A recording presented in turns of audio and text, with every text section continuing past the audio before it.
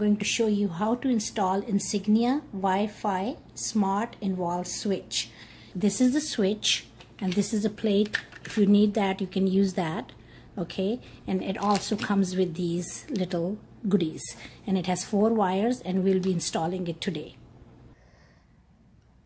I'll be installing it right here, replacing this switch. And we, this is outdoor lights and I want to make sure these lights are off before we do any electrical work for your own safety. As you can see, my outdoor lights are on. To turn main switch off, we have to go to a circuit breaker. So we're going to go do that first. Here's my circuit breaker and I know it's number 13 because I have done some work on it before. So I'm going to turn both of these off and go make sure that these lights are off before I open the circuit. As you can see, the lights are off. So we're going to go inside install it now.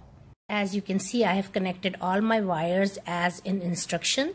And uh, this is the green wire, which is your ground wire. And if you don't have a ground wire in your switch, like I don't, so what you can do is cap this green wire with this orange cap.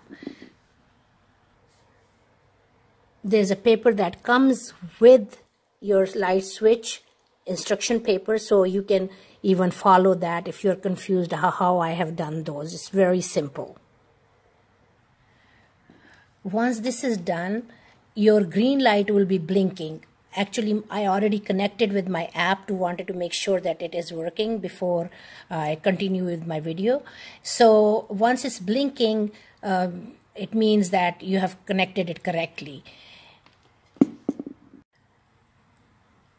After that, you can go into your app store or go to Best Buy and download Insignia uh, Connect app and uh, just follow the instructions on that. And uh, you should not have any issues. And if you do have any issue, they have a helpline or 877 number, and they will help you through how to connect. And now after that, I'm just put my wall switch back.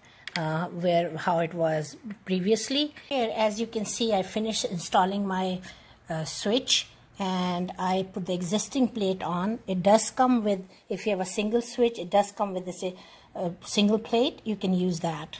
If this video was helpful, if so, please give me thumbs up. Thank you.